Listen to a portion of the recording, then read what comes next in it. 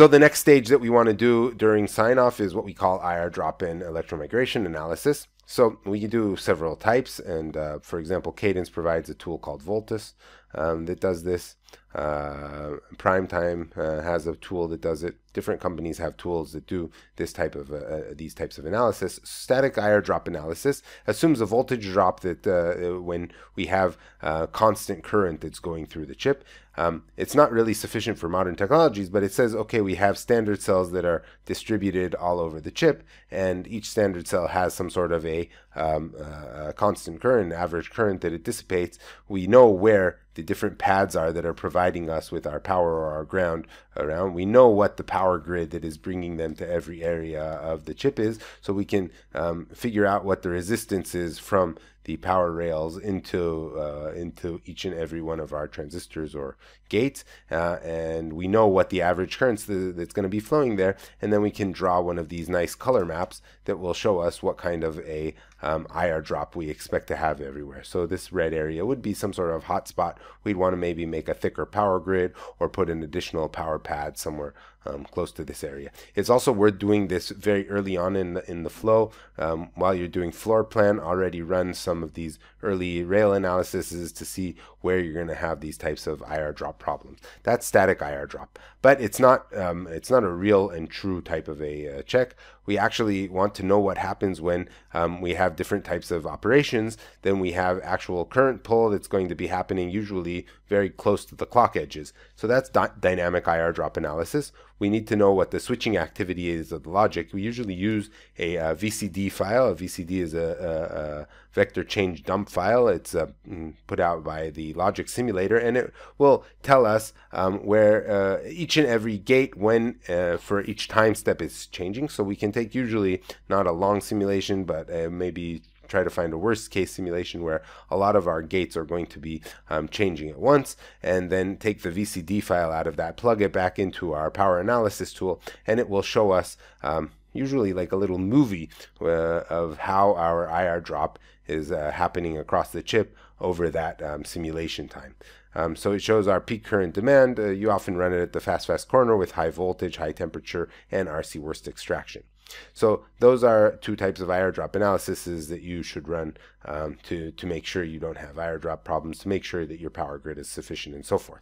Um, the electromigration analysis is usually run in a similar type of a tool. It uses a similar type of algorithms to run the analysis. And here, what we're actually checking is that we don't have too much current that is running through the different uh, uh, in, in through the different interconnect layers because if we have a lot of current, um, eventually um, as a reliability problem, the current is going to cause uh, shorts or opens due to electromigration. So we really check the current density through the different wires and see if we have any problems and have to go and make a wider wire. Since traditionally most of the current in a, in a MOS um, type of a structure goes through VDD and ground. So this was always run only on the rails. So we ran it on a VDD rail, on a ground rail, etc.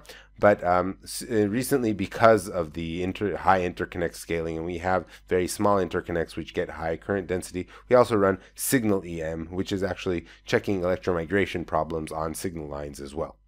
So those will highlight um, problems that we may have, and we have to go back and again make uh, lines bigger, wider, or etc. The next part that I want to discuss is logic equivalence. So um, basically, what we've shown here in our whole flow that we've gone through throughout the course is we take some sort of a of a high a high level definition of a of a hardware language, let's say a Verilog file. We run uh, you know synthesis, we run place and route and so forth, and we get a layout at the end, and we get uh, a net list at the end. That's kind of our uh, final part. To make sure that the layout and the net list are the same, we run LVS as we'll discuss in a minute. But how do we know that the Verilog netlist that we got is actually the same as the RTL that we plugged into here and that we ran all our verification, all our logic verification was done on our RTL. So we have to run logic equivalence or LEC between them. Um, that's a formal verification check where we make sure that the Boolean uh, functionality of the RTL and the Boolean functionality of the gate level are exactly the same. And um, we actually discussed a little bit with BDDs and so forth how this can be done quite easily, um, though there's a lot of tricks, uh, tips and tricks in, in, on the way, and there are tools that do this. Okay, for example, the cadence tool is called conformal, and the Synopsys one is called formality. Actually, it's pretty hard to do that because a lot of a lot changes between the original RTL and the final net list. We add and subtract a lot of um, different types of gates, and we do a lot of uh, funny stuff. So what you should do is run a logic equivalence between every two stages that you run in your design. For example, we take our RTL, we run synthesis, we get a net list already there, we're going to run LEC. Um, and if we have a LEC passing, uh, this logic equivalence passing between our RTL and this net list, then we can go and on the next stage we just run logic equivalence between the net list that we started with and the net list that comes out at each stage. Um, what's so special about this stage is that we have different types of things like the DesignWares and so forth that we discussed. You can um, implement an adder with many different Boolean uh, uh, uh Boolean uh, implementations of it, and they will not be logically equivalent. So the uh, RTL tool has to actually tell the logic equivalence tool about how it implemented this type of an adder or some other tool, uh, uh, some other block, and then the logic equivalence will know how to take that into account when it's running LEC and say that the netlist that comes out of here is the same. But when we go to the next stage, the netlist should be really um, the same exact type of a thing.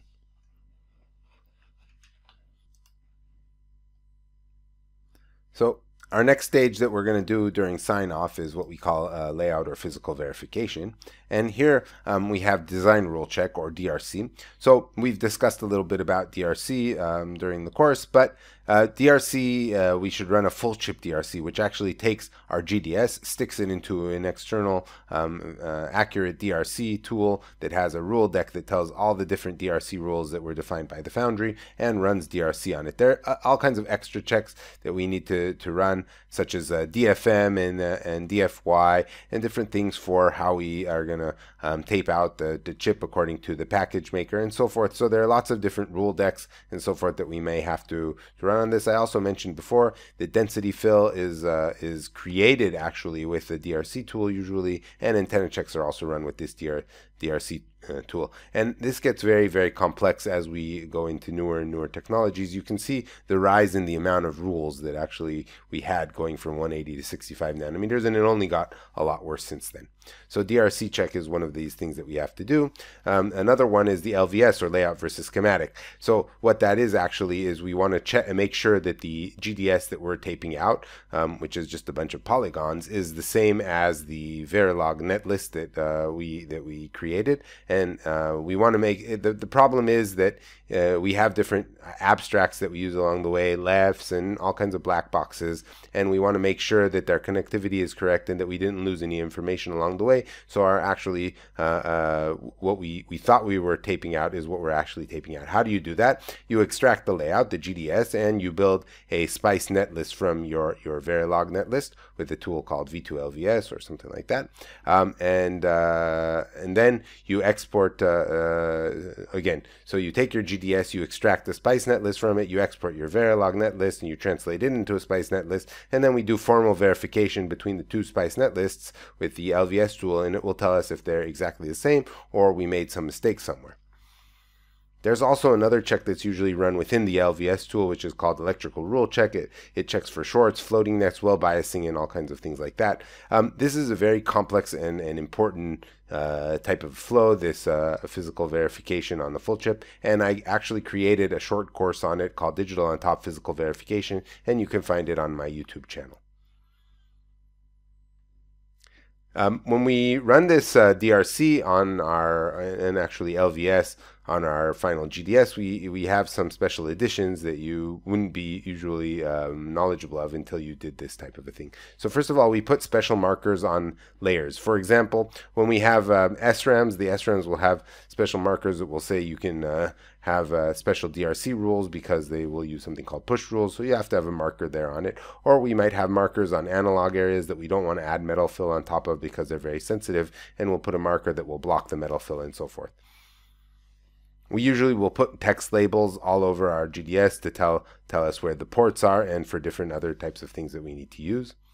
we'll add a chip logo. So chip logos are added, and you can see here that we added a chip logo with the name of the course. Um, it will be a special layer that will eat away some of the top uh, metals or just be in the top metal and will be very distinct. You use that for identification of the chip, but you also use it for orientation. So for example, the package house will know what the orientation of the chip is before it connects it. There also, if you have a big enough chip, you will have reticle alignment um, uh, markings all around these fiducials and different types of things that will help the machinery actually be able to align the different mask steps around. Um, so, so a lot of times those will have to be added to your GDS. Finally, you sometimes have to add a seal ring. Sometimes it's done for you in an academic environment. Um, what a seal ring is basically is a guard ring that you put around the die, so it's um, so it's protected when you do dicing. Dicing is cutting the chips, so you have a big wafer, and your wafer, the reticle goes over the wafer and prints out a lot of these chips. But the chips are not usually the size of the wafer, except for um, recently there was a company called Cerebras that makes a wafer level die, but most uh, most die are much, much smaller than a whole wafer. And then you have to go and take this laser and cut them into pieces. And while you're cutting them, a lot of uh, uh, a lot of residue comes out of there and it can burn out the chips. So first of all, the one thing you do is you put a large area uh, um, between chips, which is called a scribe line. Um, and, the, and, that's where you cut so you're not cutting it so you make sure you're not cutting any chip. But the other thing is you put uh, this guard ring around the chip that protects it and you can see here it's all these uh, metal layers and diffusions that will actually um, collect a lot of the this charge if it, if it goes around. So you have to often add this seal ring before you um, tape out the design itself um, just as another note, in the scribe lines, a lot of times the foundries will put all kinds of metrology into there. So they'll put different ring oscillators to check uh, the process, different types of uh, sensors that will help them check how their process is coming out on each part of the wafer and each different wafer and so forth. Um, those are just used during uh, uh manufacturing and they'll be cut away and ruined when we, we actually dice the chip. So a final point is resolution enhanced techniques. So before writing the mask, additional transformations are applied to the GDS. We provide this design, for example, in a 180 nanometer design, we would have um, drawn this type of an L shape, and our mask would be that same L shape, and we get a nice picture on our wafer, which would look pretty much like the L shape. But when we went down to um, lower uh, technologies such as 130 nanometers, if we provided that same L uh, with with the mask that was exactly the same shape, we had diffraction, and we get this ugly type of a mess over here. So what we have to do is use optical proximity checks, which add all kinds of nooks and crannies around and little corners and stuff and gives us a, a nice, better picture. Um, at even lower technologies, we have to use other tricks. If we um, use this L probably at 90 nanometers, we wouldn't have anything that would come out. So we have to use phase shift masks and we have to use OPC that will, will get us our desired shape. And it gets even more complicated when we go um, down to uh, lower technologies. Nowadays, uh, we're using 193 nanometer um, laser to fabricate uh, uh, to fabricate seven nanometer um, dimensions. Um, we've recently gone over to EUV, which is a whole new story, but um, really this is something that has to be done, and there are many of these uh, amazing things that the the device guys, the uh, fabrication guys have uh, have done. So if you want to look again at OPC, if there was no OPC, this is the type of uh, thing we'd have. We have these corrections which make a much nicer type of a shape here. You see that this is the original layout. Uh, moderate OPC will add all these little things. For even higher aggressive OPC, we'll have more of it. And it takes a real long time to um, create these masks, and they're really expensive because we have these crazy OPC things that are run on them. Phase shift masks is one of these other tricks that are played. So if we take a design and we have um, two slits in the mask, there will be refraction. So we'll have these uh, sinc uh, type of shapes that will come out. And um, when these things uh, um, connect to each other, we get the sum will be this really ugly and thick type of a line. And that's not what we want. So what we can do is actually use a phase shift mask, use an opposite phase for uh, adjacent lines and then the first one is the red one the second one the, the opposite phase is the yellow one and we when we combine them we get these two peaks here and these two peaks will make these nice two lines that will then be uh, etched away uh, to make our uh, our feature on our chip So just uh, uh, for a last point, I want to say that uh, there's some really nice examples that we can see. Um, a bunch of my friends at ETH uh, Zurich, they have a really cool thing. They've um, taped out up till now almost 500 chips over the last uh, two decades or so, and um, they put them all on uh, this nice chip gallery. Um, and so I wanted to show you guys just some of that and you can take your time afterwards and look at it. Um, there's the link over there, and you can see the uh, chips that they made. So there's 481 chips right now, and you can see these are all the chips going way, way, way back. Look deep into the oh, into the 80s. I didn't realize it was that long ago. And they do lots of real cool things. They use the density fill on top with uh, some images. You can see really cool chips that they made. For instance, this recent one called Raccoon, and this is a picture on the actual chip. Okay, um, Baikonur, that's uh, kind of cool. You can see the pulp uh, there, um, one of one of their platforms, their RISC-V platform. They put the logo on here and so forth. Um, Arnold, that's a kind of cool ship. Uh, everybody loves Arnold, right? And uh, Mr. Wolf. So I just wanted to show you a few of that, and I really appreciate the stuff that they've done. I'm also uh, on a couple of these chips here.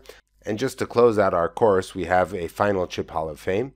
So um, for dessert, for our last thing, I actually took something that's not in the Chip Hall of Fame, but actually kind of like the Razzie of famous chips. For those who don't know, the Razzie is the Golden Raspberry. That's the prize given, that's the Oscar given for the worst movie of the year. Well, the Razzie of the famous chips is the Itanium or the Merced chip. It was a partnership between HP and Intel in 1994 where they wanted to produce the next big thing. Okay, the IA64 architecture, which was supposed to replace the x86 architectures in servers. It was this type of a uh, VLIW um, approach that was uh, supposed to be really um, to just uh, decimate all other servers. It was so big, it was announced in 1997. They expected to sell $38 billion worth of um, Itanium chips uh, by 2001. Intel stock rose by 5x by 2001, but uh, and uh, actually companies such as Compaq, which were making the Alpha chips, and SGI, which were making the chips, uh, the MIPS chips, they just stopped their lines. They stopped making them entirely. However, when it was finally released in 2001, it had such bad performance. It actually sold only 1.8 billion um, chips in 2004, and it quickly became known as the Itanic um, uh, play on the Titanic and Itanium. So it really is considered one of the biggest flops in the history of chip design. It never really caught on. Um, AMD came out with the AMD 64 architecture, which turned into the x86 64 architecture um, later on, which was backwards compatible with x86, and it's really the 64-bit architecture that is still uh, used till nowadays. And, and, and really the Itanium, which was uh, recently stopped being uh, produced altogether, it just completely entirely failed.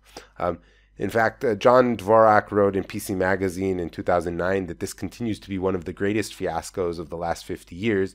And the great Donald Knuth, he wrote that the Itanium approach was supposed to be so terrific and turned, until it turned out that the wish for compilers were basically impossible to write. So really the problem, the biggest problem was that you, uh, to use these VLS, uh, VLIWs um, efficiently, you have to have these ex extremely good compilers that weren't available at the time. They were really hard to write, even today, um, and uh, and it didn't run old software that wasn't recompiled for it very well. So it just was really a train wreck.